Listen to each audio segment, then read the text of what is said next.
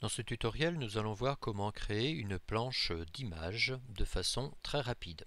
Je vais utiliser pour cela l'application OLight Draw, hein, l'équivalent de LibreOffice Draw ou OpenDraw. J'ai ici maintenant, je vais déposer une image que j'ai ici, hein, dans Tampon. Je vais la déposer directement comme ceci, en maintenant cliquer, le clic gauche, et je lâche. Je réduis cette fenêtre. Je vais agrandir celle-ci.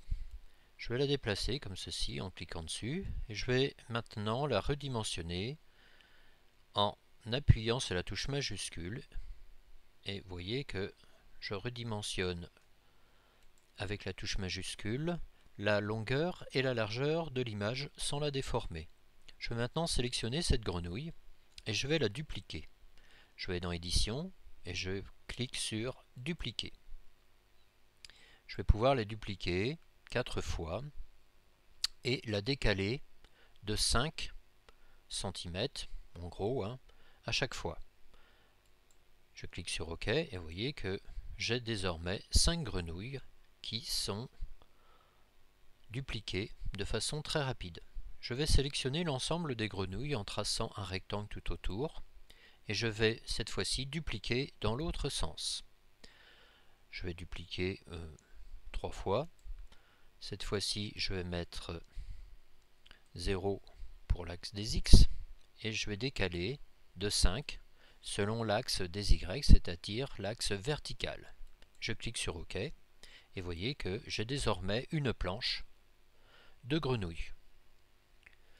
J'aurais pu également utiliser la fonction copier-coller Exemple, je sélectionne ces quatre grenouilles, je fais édition, copier, je clique à côté et je vais faire coller. L'inconvénient du copier-coller, c'est que le logiciel colle par-dessus l'image, donc on a du mal à la voir. Et vous voyez qu'il faut faire plusieurs fois copier-coller. La fonction dupliquer est ici beaucoup plus intéressante. Si je veux désormais une planche de nénuphar, je vais rajouter, en cliquant ici, je vais faire Nouvelle page, avec mon clic droit, je fais maintenant Nouvelle page, et je vais glisser-déposer cette fois-ci un nénuphar. Je prends mon nénuphar, je le dépose sur la planche directement. Je réduis cette fenêtre, je pratique la même opération, j'enfonce la touche majuscule du clavier, je redimensionne la longueur et la largeur de l'image sans la déformer. Et maintenant, je vais dupliquer. Alors, je vais dupliquer, euh, par exemple, 4 fois selon l'axe des Y, donc comme ceci. Je resélectionne l'ensemble des nénuphars et je vais dupliquer, par exemple, 5 fois selon l'axe, cette fois-ci des X donc je dois mettre 0 pour l'axe des Y. Et je clique sur OK. Et on a désormais une planche de nénuphar. Alors attention ici, les nénuphars débordent un peu de la marge.